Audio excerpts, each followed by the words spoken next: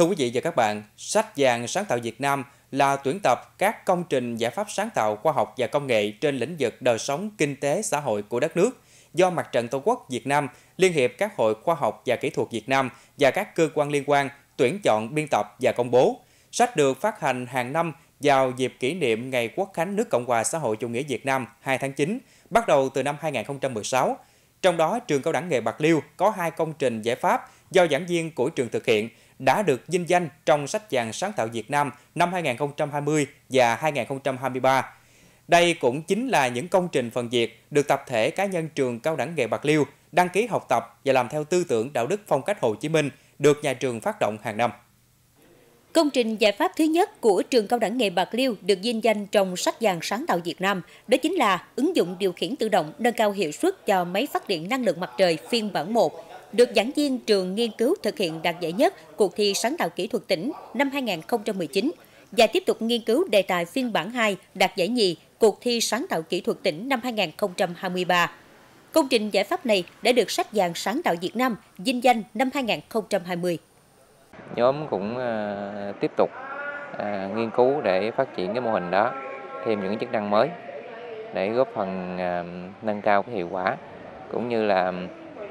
kích thích cái tinh thần à, sáng tạo kỹ thuật của giáo viên của trường để tham gia những cái cuộc thi sắp tới. Ngày 6 tháng 12 năm 2023 vừa qua, trường cao đẳng nghề Bạc Liêu lại tiếp tục được sách vàng sáng tạo Việt Nam vinh danh giải pháp chế tạo máy thu hồi tích trữ môi chất lạnh nhằm để thu hồi môi chất làm lạnh có chứa các thành tố phá hủy tầng ozone gây hiệu ứng nhà kính. Giải pháp này do giảng viên Nguyễn Việt Triều thực hiện nhằm tìm tòi và nghiên cứu phục vụ cho bài giảng được tốt hơn sinh viên có thể dễ hiểu hơn trong quá trình học tập. Mô hình sáng tạo, nghiên cứu khoa học, mình cụ thể hóa cái này để ờ, là hưởng ứng cái phong trào học tập ờ, là theo bác.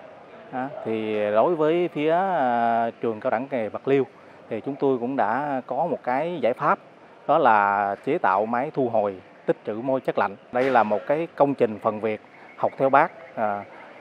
và đăng ký nghiên cứu khoa học của năm mà vừa là một cái mô hình để, để áp dụng cho nhà trường phục vụ giảng dạy để tiết kiệm chi phí à, trong cái việc đầu tư trang thiết bị giảng dạy. Trong thời gian tới thì nhà trường tiếp tục phát huy những thành tích đã đạt được, à, tiếp tục à, vận động viên chức, giảng viên và người lao động trong toàn trường là tiếp tục hăng say nghiên cứu làm các cái công trình nghiên cứu khoa học sáng tạo để mang lại những cái hiệu quả tích cực à, trong công tác giảng dạy cũng như mang lại những cái hiệu quả cho xã hội.